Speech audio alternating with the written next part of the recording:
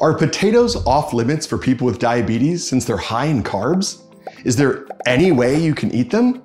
Well, there's one special twist here. You probably won't need to cut off this veggie from your menu if you understand its glycemic index, glycemic load, and how potatoes affect your blood sugar levels. This video is all about that, so let's get into it.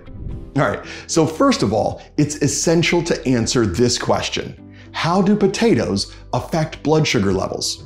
What you need to know is that this veggie contains various nutrients, such as vitamin C and B6, as well as potassium.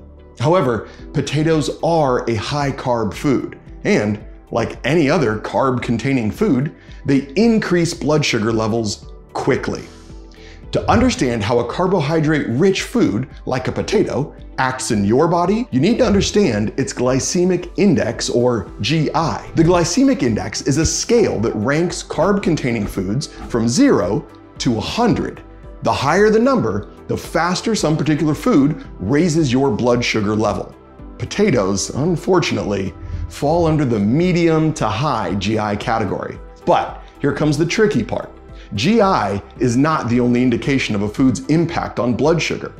Another important measure is the glycemic load, or GL, which shows how much the food will raise your blood glucose level after eating it.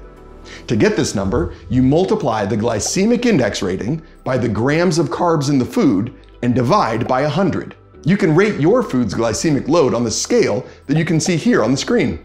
All right, now I wanna make it a bit easier for you here. So I put the list of various potato types that have the highest, medium, and lowest glycemic load.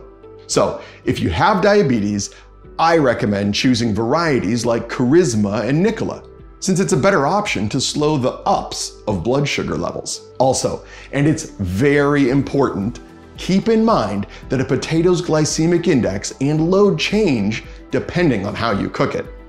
This is because cooking changes the structure of the starches and how fast they're absorbed into your bloodstream. So, to put it simply, the longer you cook a potato, the higher the GI gets. So, the healthiest way to cook potatoes is to boil or steam them without adding extra ingredients, such as salt, cheese, or butter. Making potatoes in this way will ensure they are very low in sugar, salt, and fat. And, and by the way, I strongly recommend eating potatoes without peeling their skin, since it contains loads of fiber. What else? Preparation. The preparation of potatoes also plays an important role here.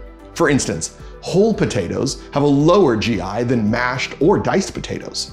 Another thing to remember is portion sizes.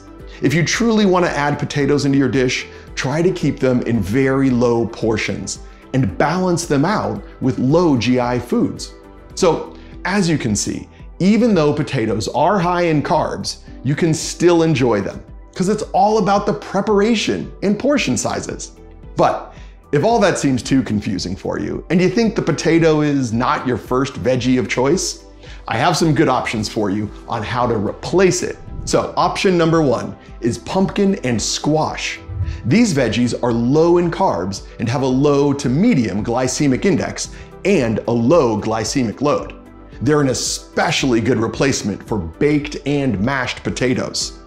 Option number two is cauliflower. Cauliflower is the most common and most recognizable alternative for potatoes. You can boil, steam, or roast them. Cauliflower is really low in carbs, which makes it a great option for people on a very low carb diet. Option number three is carrots. They're great boiled, steamed, or baked, and it's up to you which preparation method you'll choose here. Carrots are low GI and GL and have less than 10 grams of carbs per 80 gram serving. All right, option number four is zucchini. It's a very versatile vegetable that can be incorporated into many dishes. It's a very low starch vegetable, which can be eaten freely without negatively impacting your glucose levels. Also, the good news is that zucchini has a very low glycemic index of just 15. Okay, I know there is a lot of information here, so I always advise talking with your healthcare team or dietitian if you are struggling to manage diabetes and make healthy choices. All right, now watch the following videos on the Klinio channel. and see you later.